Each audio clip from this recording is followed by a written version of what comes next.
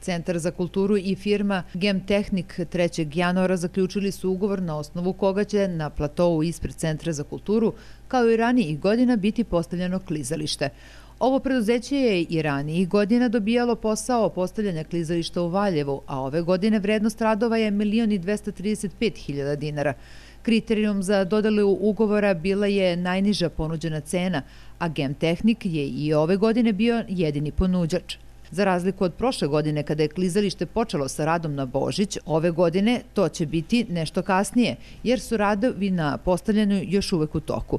U ugovoru koji je objavljen na sajtu javnih nabavki nije precizirano do kada će klizalište raditi u Valjevu. I ranijih godina grad je finansirao postavljanje klizališta. Prošle godine je za tu namenu izdvojeno 1,2 miliona dinara, a u sklopu tih sredstava grad je plaćao i utrošenu struju i vodu.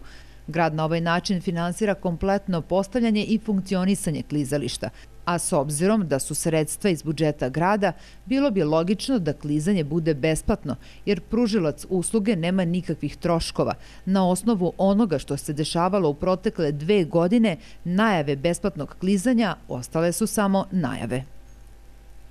Inače, cena pojedinačne ulaznice za 60 minuta klizanja prošle godine bila je 150 dinara, dok je za organizovane posetioce ulaznica za 60 minuta bila 75 dinara.